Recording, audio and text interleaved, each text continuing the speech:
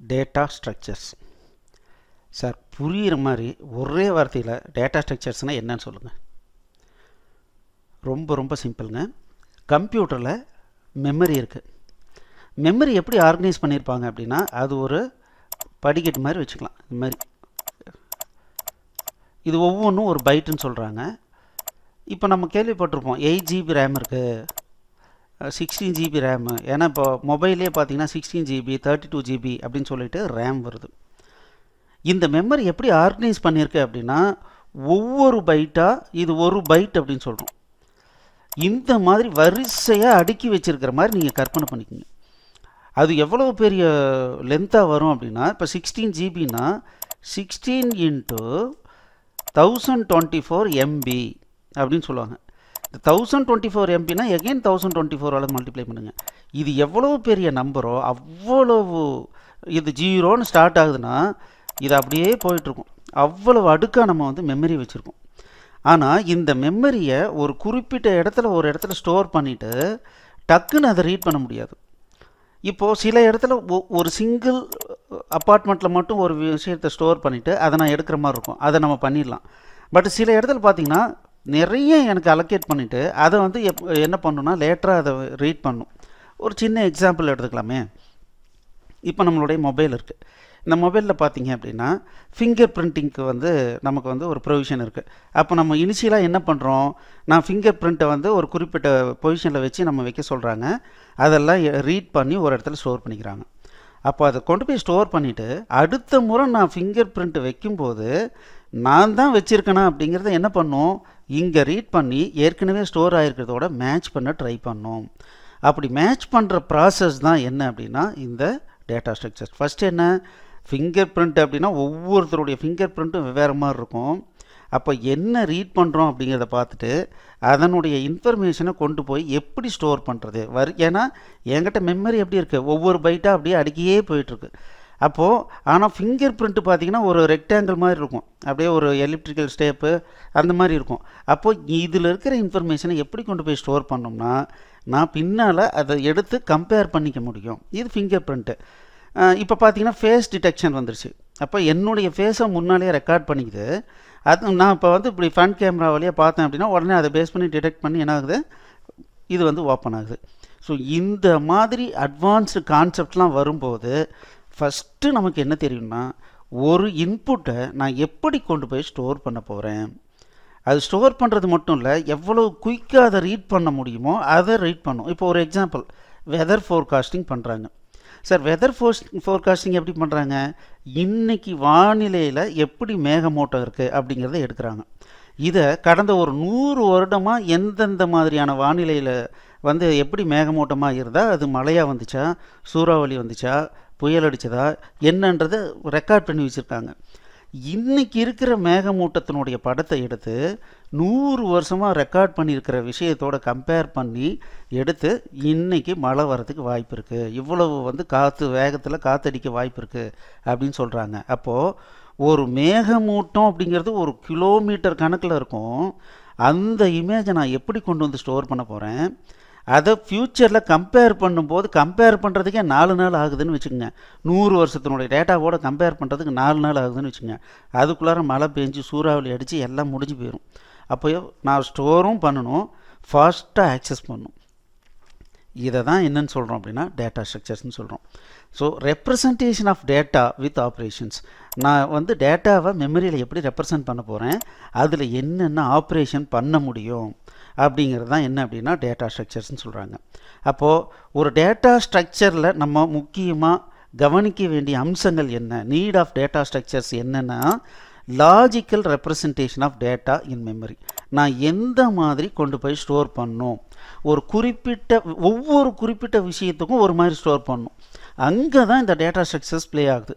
இப்போ நம்ம படிக்க போகிறதெல்லாம் என்னென்னா ஒரு நூறு வருஷத்துக்கு முன்னாலேயே உருவாக்கி வச்சுருக்கிற டேட்டா ஸ்ட்ரக்சர்ஸ் இதெல்லாம் ஏற்கனவே ஆட்டோமேட் ஆகிடுச்சு ஏன் சார் மறுபடியும் இதை படிக்கிறோம்? அப்படின்னா இது எப்படி உருவாக்குனாங்கன்ற ஒரு ஐடியா உங்களுக்கு வந்துச்சுன்னா இன் ஃப்யூச்சரில் புது புது ப்ராப்ளம் வரும். அப்போ புது புது மெத்தடில் நம்ம ஸ்டோர் பண்ண வேண்டியிருக்கோம்.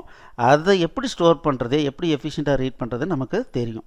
அப்போது டேட்டா ஸ்ட்ரக்சர்னுடைய முதல் பாயிண்ட் என்னென்னா logical representation of data in memory எப்படி கொண்டு போய் ஸ்டோர் பண்ண போகிறேன் அதுக்கப்புறம் logical relationship between various elements இன்றைக்கி ஒரு மேகமூட்டத்தை பற்றி நான் ஒரு இடத்துல ஸ்டோர் பண்ணியிருக்கேன். இன்னொரு மேகமூட்டத்தை பற்றி ரெண்டு நாள் கழித்து ஸ்டோர் பண்ணுறேன் அப்போ இது ரெண்டுக்கும் எந்த மாதிரி லிங்க் இருக்குது இதுக்கு பின்னால் இது வந்துச்சா? இதுக்கு பின்னால் இது வந்துச்சா? அப்படிங்கிற லிங்க்கை வந்து நான் வந்து ஸ்டோர் பண்ணுறது தான் லாஜிக்கல் ரிலேஷன்ஷிப் இப்போ ஒரு எக்ஸாம்பிள் எடுத்துக்கலாம். நான் ஒரு ஒரு ரோடு இப்படி போகுதுங்க. அங்கே வந்து ரெண்டாக பிரியுது. அப்போது இது ரெண்டாக பிரிஞ்சு மறுபடியும் போகுது. மறுபடியும் போயிட்டு இது இந்த இந்த பக்கம் கட் ஆகுது. பட் இது என்ன ஆகுதுன்னா இப்படி போய் சுற்றி அடிச்சுட்டு மறுபடியும் என்ன ஆகுது? இங்கே வந்து ஜாயின் ஆகுதுன்னு வச்சுக்கோங்க. அப்போது நான் இங்கேருந்து போகிற இன்ஃபர்மேஷன் அப்போது இப்படி போனாலும் இப்படி வருது இப்படி போனாலும் நான் இப்படி போகலாம் அப்படிங்கும்போது என்ன ஆகுது அப்படின்னா ஒரு ரிலேஷன் இருக்குது இந்த ரோடுக்கும் இந்த ரோடுக்கும் ஒரு ரிலேஷன் இருக்குது அப்போது மல்டிபிள் டீட்டெயில் இருக்குது அப்போது லாஜிக்கல் ரிலேஷன்ஷிப் இருக்குது அதுக்கு ஒன்றுக்கு ஒன்று கனெக்ஷன் இருக்குது அதுக்கப்புறம் எஃபிஷியன்ட் மேனிப்புலேஷன் நான் ஸ்டோர் பண்ணுறது மட்டும் பத்தாது. நான் என்ன பண்ணும்? ஈஸியாக மேனிப்புலேட் பண்ணும். அதே மாதிரி process the data in efficient manner திடீர்னு வந்து ஓகே இந்த நூறு வருஷத்துக்கு கம்பேர் பண்ணுப்பா. இப்போ ஒரு குற்றவாளியினுடைய புகைப்படம் இருக்குது அந்த படத்தை எடுத்துகிட்டு இது வரைக்கும் இந்தியாவில் எந்தெந்த குற்றவாளிகள் இருக்காங்களோ அவங்களோட மேட்ச் பண்ண ட்ரை பண்ணேன் யாரதாவது மேட்ச் ஆனிச்சுன்னா பார்க்கலாம். அப்படின்னு சொல்லி எடுத்து ப்ராசஸ் பண்ணுறோம் அப்போது அதுதான் ப்ராசஸிங் அப்படின்னு சொல்கிறோம் இந்த மேனிப்புலேஷன் அப்படின்னா ஆட் பண்ணுறது டெலீட் பண்ணுறது இதை மேனிப்புலேஷன் சொல்லலாம். ப்ராசஸ் அப்படின்னா எடுத்து கம்பேர் பண்ணி அதிலிருந்து ரிசல்ட்டை எடுக்கிறது ப்ராசஸிங் இது எல்லாத்தையும் கன்சிடர் பண்ணி நம்ம ஒரு அல்காரிதம் க்ரியேட் பண்ண போகிறோம் அதுதான் என்ன சொல்கிறோம் டேட்டா ஸ்ட்ரக்சர்ஸ் அப்படின்னு சொல்கிறோம் ஓகே இப்போ டேட்டா ஸ்ட்ரக்சர்ஸ் அப்படின்னா இதை ரெண்டாக பிரிக்கலாங்க. மெயினாக primitive and non primitive primitive அப்படின்னா என்ன அர்த்தம் அப்படின்னா நம்மளுடைய கம்ப்யூட்டர் டைரெக்டாக ஹேண்டில் பண்ணக்கூடிய டேட்டாவெலாம் என்னன்னு சொல்கிறோம் அப்படின்னா ப்ரிமிட்டிவ் அப்படின்னு சொல்கிறோம் இப்போ நீங்கள் சி ப்ரோக்ராமிங் ஏதாவது படிச்சிருந்தீங்கன்னா கண்டிப்பாக உங்களுக்கு தெரியும். இன்ட்டு ஃப்ளோட்டு இந்த மாதிரி டபுள் லாங் இதெல்லாம் யூஸ் பண்ணுவோம். கேர் இதெல்லாம். இதெல்லாம் என்னென்னா டைரெக்டாக மெமரியை எப்படி வந்து எஃபிஷியண்ட்டாக யூஸ் பண்ணுறது அப்படிங்கிறது அந்த டிவைஸுக்கே தெரியும். அந்த சென்ட்ரல் ப்ராசஸிங் யூனிட்டில் இருக்கிற அரித்மெட்டிக் அண்ட் லாஜிக்கல் யூனிட்டுக்கே அது முன்னாலேயே தெரியும். அப்போ இதுக்கு நம்ம ஸ்பெஷலாக வந்து டேட்டா ஸ்ட்ரக்சர் க்ரியேட் பண்ண தேவையில்லை. அது எல்லாம் இன்பில்ட்டாகவே வந்துடுது நமக்கு கிடச்சிடுது அதனால் இதுக்கு தேவையில்லை. அப்போ நான் ப்ரிமிட்டிவ் அப்படின்னா இந்த மாதிரி சிம்பிள் டேட்டாவாக இல்லாமல் எனக்கு வேறு விதமாக எதெல்லாம் நான் ஸ்டோர் பண்ணுமோ அதை என்னன்னு சொல்கிறோம் அப்படின்னா நான் ப்ரிமிட்டிவ் அப்படின்னு சொல்கிறோம் அந்த நான் ப்ரிமிட்டிவில் ரெண்டு விதமாக பிரிக்கிறாங்க. என்ன? லீனியர் இன்னொன்று நான் லீனியர் லீனியர் அப்படின்னா என்ன அர்த்தம்னா வரிசையாக.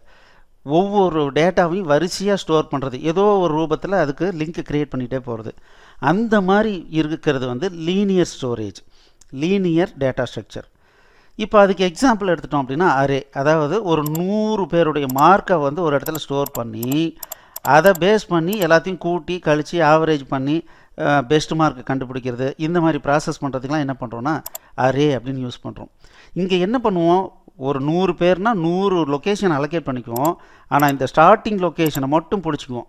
இதை வச்சுக்கிட்டு நூறு பேருடைய டேட்டாவை நான் எப்போ வேணாலும் அனாலிசிஸ் பண்ணிக்கலாம். அந்த மாதிரி டேட்டா ஸ்ட்ரக்சருக்கு பேர் என்னென்னா அரேன்னு சொல்கிறோம் இதே வந்து ஸ்டேக் ஸ்டேக் அப்படின்னா லாஸ்ட் இன் ஃபஸ்ட் அவுட் இப்போ இதுக்கு நார்மலாக என்ன எக்ஸாம்பிள் சொல்லுவாங்கன்னா நான் பிளேட் இருக்குது சார் சாப்பாடு பிளேட்டு அப்படியே ஒன்று மேலே ஒன்று அடுக்கிக்கிட்டு இருக்கேன். இப்போது எனக்கு எந்த பிளேட்டை ஈஸியாக எடுக்க முடியும்? டாப்பில் இருக்கிறது தான் ஈஸியாக எடுக்க முடியும். அப்போ இது என்னன்னு சொல்கிறோம் லாஸ்ட் எது மேலே லாஸ்ட்டு இன்னோ அதுதான் ஃபஸ்ட்டு அவுட்டாக இருக்கும். இந்த மாதிரி சில ப்ராசஸ்க்கு தேவைப்படும். அந்த மாதிரியான டைமில் நான் என்ன பண்ணோம்? ஸ்டேக்கை யூஸ் பண்ணோம். ஸ்டேக் அப்படிங்கிற டேட்டா ஸ்ட்ரக்சர் யூஸ் பண்ணோம். பட் இதை டீட்டெயில்டாக பின்னால் நம்ம பார்க்க பார்க்க போகிறோம் இது வந்து க்யூ க்யூ அப்படின்னா என்னென்னா யார் ஃபஸ்ட்டு இன்னும் ஃபஸ்ட் அவுட்டு இப்போ ஒரு கவுண்டர் இருக்குது கவுண்டரில் ஃபஸ்ட்டு வரவர் ஃபஸ்ட் நிற்பார் ரெண்டாவது வரவர் ரெண்டாவது. இப்படி இப்படி வரிசையாக நிற்பாங்க அப்போ முதல்ல யார் டிக்கெட் வாங்குவாங்க? இவர் தான் டிக்கெட் வாங்கிட்டு போவார். அதுக்கடுத்து இவர் போவார். அப்போ இந்த மாதிரி டேட்டாவை நான் வந்து ஸ்டோர் பண்ணி டேட்டாவை மேனிப்புலேட் பண்ண முடிஞ்சதுன்னா அதுக்கு பேர் என்ன சொல்கிறோம் க்யூ அப்படின்னு சொல்கிறோம் அதே மாதிரி லிங்க்டு லிஸ்ட் அப்படின்னு சொல்கிறோம் லிங்க்டு லிஸ்ட் அப்படிங்கிறது என்னென்னா இப்போ வந்து ஒரு ஒரு கிரவுண்ட் இருக்குது அதில் ஏதோ ஒரு கேம் நடக்க போகுது. அப்ராக்சிமேட்டாக ஒரு ஐ ஐயாயிரம் பேர் உட்கார்றதுக்கு இடம் இருக்குது ஆனால் ஐயாயிரம் பேரும் வருவாங்களான்னு தெரியாது. நூறு பேரும் வரலாம் ஐயாயிரம் பேரும் வரலாம். அப்போது நான் ஏற்கனவே மெமரியை போய் அலோகேட் பண்ணி வச்சுக்க முடியாது. அப்போ நான் என்ன பண்ண போகிறேன் ஒவ்வொருத்தராக வராங்க.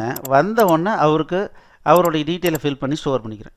இன்னொருத்தர் புதுசாக வந்தார்னா அவருக்கு ஒரு மெமரியில் அவருடைய டீட்டெயில் போட்டுட்டு இதில் வந்து லிங்க் பண்ணிக்குவேன். இன்னொருத்தர் புதுசாக வந்தார்னா அவருக்கு அந்த அவருடைய டீட்டெயில் போட்டு இந்த ப்ரீவியஸ் இதோட லிங்க் பண்ணுவேன். அப்போ என்ன ஆகுது? என்கிட்ட இந்த ஸ்டார்டிங் அட்ரஸ் இருந்ததுன்னா மொத்தம் எத்தனை பேர் இருக்காங்களோ ஐயாயிரம் பேர் இருந்தாலும் சரி அந்த ஐயாயிரம் பேருடைய டீட்டெயிலையும் நான் என்ன பண்ண முடியும்? இந்த லிங்க்கை வச்சு நான் டீட்டெயிலை ஆக்சஸ் பண்ணிக்க முடியும். அப்போது இந்த மாதிரி ஸ்டோர் பண்ணுறதுக்கு பேர் என்னன்னு சொல்கிறாங்கன்னா லிங்க்டு லிஸ்ட் அப்படின்னு சொல்கிறாங்க இது லீனியர் லீனியர்னா என்ன? ஒன்றுக்கு அடுத்தது இன்னொன்று ஸ்டோர் பண்ணிக்கிட்டே போகிறது நான் லீனியர் அப்படின்னா டேட்டாவை கண்ட மாதிரி ஸ்டோர் பண்ணுறது இந்த மாதிரி ஸ்டோர் பண்ணுறது இப்போ இதை என்னன்னு சொல்லுவோம்னா கிராஃப்னு சொல்லுவோம். அதாவது இது இது மெயினாக பார்த்தீங்கன்னா பாத் அதாவது இங்கேருந்து இப்படியும் போகலாம் இங்கேருந்து இப்படி வரலாம். அது இங்கே கனெக்ஷன் ஆகுது. இங்கேருந்து இங்கே வருது இங்கேருந்து வருது. இதுவும் இங்கே வந்து கனெக்ஷன் ஆகுது. இது என்னென்னு சொல்கிறாங்கன்னா கிராஃப்னு சொல்லுவாங்க. மெயினாக இந்த கூகுள் மேப் பார்த்தீங்கன்னா இந்த டெக்னாலஜியை கிராஃப் டெக்னாலஜியை யூஸ் பண்ணி தான் நமக்கு வந்து வழிகாட்டவே செய்யுது. ட்ரீஸ் அப்படின்னு சொல்லுவாங்க. ட்ரீஸ் மெயினாக என்ன பண்ணுவாங்கன்னா இண்டெக்ஸிங் அப்படிங்கிற மெத்தடுக்கு தான் யூஸ் பண்ணுவாங்க. அதாவது நம்ம ஸ்டோர் பண்ண ஸ்டோர் பண்ண இண்டெக்ஸ் பண்ணி ஸ்டோர் பண்ணுறது அதாவது இப்போ ராமு வராரு ராமு ஸ்டோர் பண்ணுறது அதுக்கப்புறம் அன்பரசன் வராரு. அன்பரசனை ராமுக்கு முன்னால் ஸ்டோர் பண்ணுறது குமரேசன் வராரு. இது ரெண்டு பேருக்கு நடுவில் ஸ்டோர் பண்ணுறது அதாவது இண்டெக்ஸ் பண்ணி அதாவது ஆர்டர் சார்ட்டட் ஆர்டர்லேயே ஸ்டோர் பண்ணுற மாதிரி பண்ணிக்கிறது. இதனால் என்ன அட்வான்டேஜ் நான் சர்ச் பண்ணுற டைமு பாதியாக குறையும். ஸோ அந்த மாதிரியான இடத்துல என்னன்னு சொல்கிறாங்கன்னா ட்ரீ அப்படின்ற டேட்டா ஸ்ட்ரக்சர் யூஸ் பண்ணி பண்ண போகிறாங்க ஸோ அப்போது டேட்டா ஸ்ட்ரக்சரில் ஸோ இந்த டேட்டா ஸ்ட்ரக்சர்ஸில் நம்ம எதை கற்றுக்க போகிறோம்னா இங்கே மென்ஷன் பண்ணியிருக்கிற டீட்டெயிலை தான் நம்ம கற்றுக்க போகிறோம் ஓகே இந்த டேட்டா ஸ்ட்ரக்சர் ஆப்ரேஷன்ஸ் அப்படிங்கிறது இருக்குது ஸோ ஒவ்வொரு டேட்டா ஸ்ட்ரக்சர் எடுத்துக்கிட்டோம்னா இந்த நாலு விதமாக நம்ம அனலைஸ் பண்ணுவோம். என்ன? எப்படி ஒரு புது டேட்டா வந்து நான் இன்சர்ட் பண்ண போகிறேன் தேவையில்லாத எப்படி டெலீட் பண்ண போகிறேன் ட்ராவர்சிங் அப்படின்னா ஃபஸ்ட்டில் இருந்து லாஸ்ட் வரைக்கும் எப்படி வந்து எல்லாத்தையும் ரீட் பண்ண போகிறோன்றது தான் ட்ராவர்சிங் அப்படின்னு சொல்லுவாங்க. சர்ச்சிங் எனக்கு ஒரு குறிப்பிட்ட டேட்டா இருக்கிற எலிமெண்ட் எதுன்னு கண்டுபிடிக்கணும். அப்படின்னா நான் எப்படி சர்ச் பண்ண போகிறேன் அப்போ இந்த நாலு ஆப்ரேஷன் வந்து பேசிக் ஆப்ரேஷன் இது இல்லாமல் காமனாக என்னன்னு சொல்லுவாங்க அப்படின்னா சார்ட்டிங் ஆப்ரேஷன்ஸ் இருக்குது மெர்ஜிங் ஆப்ரேஷன் இருக்குது அதாவது ரெண்டு தனி லிஸ்ட் இருக்குது அதை வந்து சேர்த்து ஒரே இதாக எப்படி வந்து கன்வெர்ட் பண்ணுறது அது மெர்ஜிங் சார்ட்டிங் அப்படின்னா இண்டெக்ஸ்டாக எப்படி வந்து நான் வந்து ஒரு லிஸ்ட்டை வந்து கன்வெர்ட் பண்ணுறது அதுக்கு பேர் சார்ட்டிங் ஸோ இதெல்லாம் எதுக்காக? பின்னால் சர்ச்சிங் பண்ணும்போது ஈஸியாக என்னால் டேட்டா ஃபெச் பண்ண முடியும். அதுக்காக. அப்போது நம்ம டேட்டா ஸ்ட்ரக்சர்ஸில் எதை பார்க்க போகிறோம் அப்படின்னா ஸோ மெயினாக அந்த ட்ரீஸு ஸ்டாக்கு க்யூ கிராஃபு இந்த மாதிரி டீட்டெயில் பார்க்க போகிறோம் அந்த ஒவ்வொன்றிலையும் இந்த டீட்டெயில் தான் மெயினாக வந்து கவர் பண்ணுறதுக்கு உண்டான கோடிங்கோ இல்லை அல்காரதமோ நம்ம பார்க்க போகிறோம் ஓகே இப்போ நம்ம ஏற்கனவே பார்த்தோம் இந்த டேட்டா ஸ்ட்ரக்சரில் மெயினாக அல்காரிதம்னு எடுத்துக்கிட்டோம்னா எஃபிஷியன்சின்றது ரொம்ப இம்பார்ட்டண்ட்டு அதில் மு முக்கியமாக ரொம்ப அதிகமாக யூஸ் பண்ணுறது பிக்வோ அப்படின்ற மெத்தட் பிக்வோ அப்படின்னா மேக்ஸிமம் டைமில் நான் ரெப்ரசன்ட் பண்ணுறது அப்படின்னு நம்ம சொன்னோம். இப்போ ஒரு அரே அப்படின்னு எடுத்துட்டோம் அப்படின்னா அதில் இன்சர்ஷன் ஆப்ரேஷன் அப்போ கடைசியாக கொண்டு போய் என்ன ஒவ்வொரு டேட்டா புது டேட்டா வரும்போது நான் என்ன பண்ணுவேன்? ஏற்கனவே என்ன இருக்கோ அதில் அதுக்கு கடைசியாக கொண்டு போய் ஆட் பண்ணுவேன். அப்போது இன்சர்ஷன் பண்ணும்போது என்னாகும் அப்படின்னா எத்தனை எலிமெண்ட் இருக்கோ அத்தனையை தாண்டி போய் தான் நான் ஸ்டோர் பண்ணும். அப்போ என்னாகும்? எனக்கு எ- அந்த எண்ணுக்கு தகுந்த மாதிரி என்னாகும்? மேக்ஸிமம் டைம் ஆகும். சர்ச் பண்ணும்போதும் அப்படி தான் ஃபஸ்ட்டாகவே இருந்ததுன்னா கம்மி டைமில் வரும். ஆனால் மேக்ஸிமம் எவ்வளோ டைம் வரும்? எத்தனை மொத்தம் இருந்துச்சோ அத்தனை எலிமெண்ட்டுக்கு தகுந்த மாதிரி எல்லா கடைசியாக நான் தேடுற எலிமெண்ட் லாஸ்ட்டாக இருந்தது அப்படின்னா அப்போ எவ்வளோ டைம் ஆகும்? மேக்ஸிமம் டைமு என் எலிமெண்ட் எவ்வளவோ அவ்வளோ தான் ஆகும். அதனால தான் ஓ ஆஃப் என்னு சொல்கிறோம் அதே மாதிரி டெலீட் பண்ணுற எலிமெண்ட்டு லாஸ்ட்டாக இருந்ததுன்னா அப்போ ஒவ்வொன்றா தேடி போய் கடைசியாக இருக்கிறத டெலீட் பண்ணுறதுக்கு அப்போது மேக்ஸிமம் டைம் என்ன? ஓ ஆஃப் என் வந்து டைம் ஆகும் அப்படின்னு சொல்கிறாங்க லிங்க்டு லிஸ்ட் அப்படின்னா இந்த அரேவுக்கும் லிங்க்டு லிஸ்ட்டுக்கும் உள்ள அட்வான்டேஜ் பாருங்கள் இதில் ஜஸ்ட்டு எப்போவுமே கான்ஸ்டண்ட்டாக ஒரே டைம் தான் ஆகும். ஒரு ரெக்கார்டை இன்சர்ட் பண்ணுறதுக்கு ஒரே டைம் தான் ஆகும். அப்போ என்ன ஆகும் வேகமாக ரெக்கார்டை இன்சர்ட் பண்ணோம் அப்படின்னா அரேவுக்கு பதிலாக எது பெஸ்ட்டு லிங்க்டு லிஸ்ட்டு பெஸ்ட்டு ஆனால் சர்ச்சிங்கும் டெலிட்டும் அதே டைம் தான் ஆகும். மேக்ஸிமம் அந்த டைம் தான் ஆகும். இப்போ ஸ்டாக் எடுத்துக்கிறோம். ஸ்டாக்கில் பார்த்தீங்கன்னா எப்போவுமே ஒரு எலிமெண்ட்டை டாப்பில் ஆட் பண்ண போகிறோம் எது டாப்பில் இருக்கோ அதை தான் என்ன பண்ண போகிறோம் ரிமூவ் பண்ண போகிறோம் ஃபஸ்ட்டு எடுக்க போகிறோம் அப்போது எப்போவுமே ஒரே மாதிரி டைம் தான் ஆகும். அதே மாதிரி தான் க்யூ ஏன் சார் க்யூ எல்லாமே அரேவில் பண்ணலாமேன்னா இதில் இருக்கிற இந்த பிக் ஓனுடைய பெனிஃபிட்டுக்காக தான் நம்ம என்ன பண்ணுறோம் ஸ்டாக்கு க்யூ யூஸ் பண்ணுறோம் பாருங்கள் ஒரு ஓ ஆஃப் ஒன்றுனா என்ன அர்த்தம்? எப்போவுமே ஒரே டைம் தான் ஆகும். இன்சர்ட் பண்ணுறதுக்கும் அதே டைம் தான் டெலீட் பண்ணுறதுக்கும் அதே டைம் தான் ஆகும். இதே ட்ரீ எடுத்துட்டோம் அப்படின்னம்னா பாதி டைம் தான் ஆகும். லாக்ரதமிக் என்ன அப்படின்னா பாதி பாதியாக பிரித்து பிரித்து நான் எடுத்துகிட்டே போக போகிறேன் அப்போது குயிக்காக வந்துடும் என்ன அளவுக்கு டைம் ஆகாது அப்படின்னு அர்த்தம். அப்போது ட்ரீ அப்படிங்கிறது எப்போ யூஸ் ஆகும்? இப்போது இந்த இதில் பார்த்தீங்கன்னா சர்ச் பண்ணுறதுக்கு எவ்வளோ டைம் ஆச்சு? ஓ ஆஃப் என் டைம் ஆச்சு. ஆனால் அதே ட்ரீ யூஸ் பண்ணனா எனக்கு என்ன ஆகும்? பாதியாக குறையும்.